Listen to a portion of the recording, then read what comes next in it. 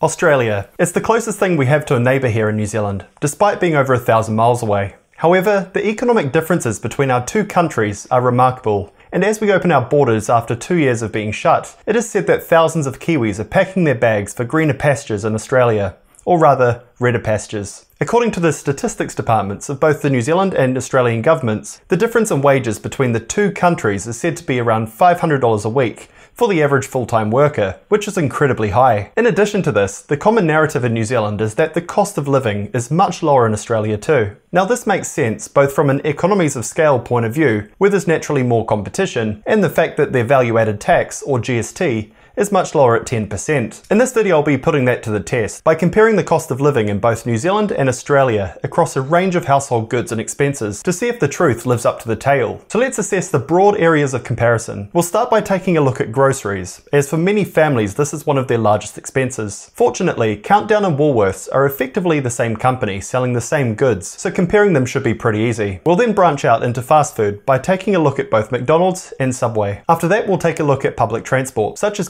catching the train, and private transport such as the price of cars and petrol. We'll then take a look at housing costs, both to rent and to buy, and then onto general utilities such as power, water, broadband, and phone. And we'll wrap up by looking at large household goods such as TVs and couches. So let's start with groceries by looking at Woolworths in Australia and Countdown in New Zealand. I've compared nine standard everyday grocery items all of which are identical across the two countries, making the comparison simple. The first item compared is a kilogram of chicken, and as you can see the price is pretty much the same with Australia, coming in slightly cheaper than New Zealand. If we look at the second item, a kilo of beef mince, the difference is a bit larger, with Australia coming in at around 50 cents cheaper per kilo. So it's clear that meat is generally cheaper in Australia. The third item is long grain rice, and despite coming in the exact same packaging, it is sold over $1 cheaper in Australia. This is continued when we look at a kilo of frozen peas, coming in about 60 cents cheaper in Aussie, and a litre of olive oil, again in the same packaging, but is $1.70 cheaper. But to make matters worse, the next item is a kilo of tasty cheese, which is a whopping $7.50 cheaper in Australia.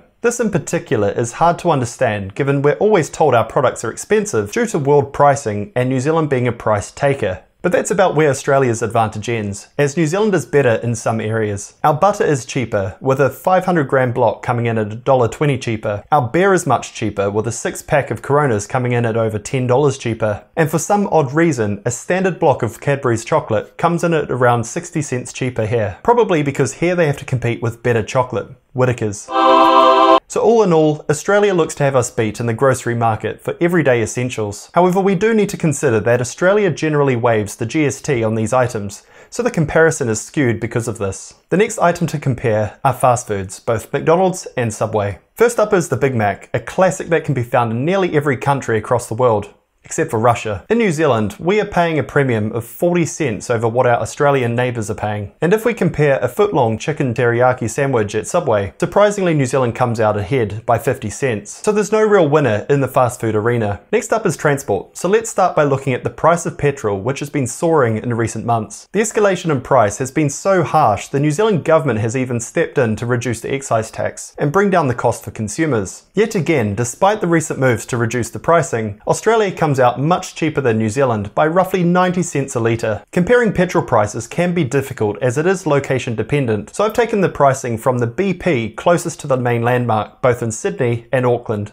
New cars also appear to be significantly cheaper in Australia, with the base model Mazda CX-5 coming in at over $2,000 cheaper over the ditch. So it's clear that private transport in Australia is substantially cheaper than in New Zealand. Looking at public transport, however, for a similar 10 kilometre trip, it would usually cost the same in both Sydney and Auckland. However, Auckland is currently running a 50% off promotion until September, so for the time being, Auckland is cheaper. Now let's look at housing costs. As expected, the cost of the median home in Sydney is around $400,000 more than in Auckland. However, this only tells us half the story, as Australian banks are currently charging over 1% less in Australia than New Zealand for a one-year fixed rate mortgage. When factoring in the median house value, the repayments on a 30-year loan would cost $400 a week more in Sydney than in Auckland. So clearly buying in Auckland is cheaper. If we look at renting, a similar aged and sized apartment would cost around $300 a week more in the Sydney CBD than in Auckland. Flatting is also cheaper, with flats in two similarly situated areas being around $70 a week cheaper in Auckland. So New Zealand comes in substantially cheaper than Australia for the cost of housing. But let's take a look at utilities. For power, both countries have PowerShop offering electricity, so we can use this for our comparison. Assuming a usage of 10 kilowatts a day, and we use half our energy off peak, Australia comes in at roughly $1 a day cheaper than in New Zealand. Even if we used low user pricing in New Zealand, we'd be 40 cents worse off, and the marginal usage cost would be over 50% higher. Cell phone plans are also much cheaper, with their standard plans having a huge amount of data compared to those in New Zealand. For roughly 80 to 100 gigabytes a month of data and unlimited calls and texts, Aussie comes in over $55 a month cheaper at less than half of the cost. In most of New Zealand, the water is included in the rates bill. In Auckland and Sydney, water is charged, and Auckland comes out much cheaper by about 90 cents per thousand litres. But the most surprising difference is the cost of broadband, though this isn't a surprise to Australians that have suffered with NBN. A 300 megabyte download speed fibre connection in New Zealand comes in around $100 a month cheaper than the equivalent in Australia. So all in all, utilities are likely similarly priced between Australia and New Zealand. So the final area for us to compare is large household goods such as electronics and furniture. Luckily, both Harvey Norman and Freedom Furniture operate in both countries with similar stock, so we can compare these. If we look at one of Freedom's larger couches, Australia comes in at $200 cheaper. The same can be said for televisions, with a 75-inch Samsung TV cheaper by $300 over the ditch. And if we look at a Fisher & Paykel dryer, it is around $250 cheaper in Australia. So much for being a Kiwi brand, right? And here we're getting told it's a birthday deal. New Zealand has the cheaper iPhones, however, with the 13 Pro coming in $80 lower. So Australia looks to generally have the cheapest large household goods. So I hope you enjoyed this comparison video and got a sense for how prices differ across a range of categories between Australia and New Zealand. Please remember to like this video and subscribe to my channel if you want to see more videos just like this in the personal finance and investing space. Drop a comment down below if you know of any other products that are priced significantly different between two countries. For me, in Singapore the average price to have a haircut at the mall was three times cheaper than in New Zealand. Thanks for watching, and I look forward to catching you on the next one. Cheers.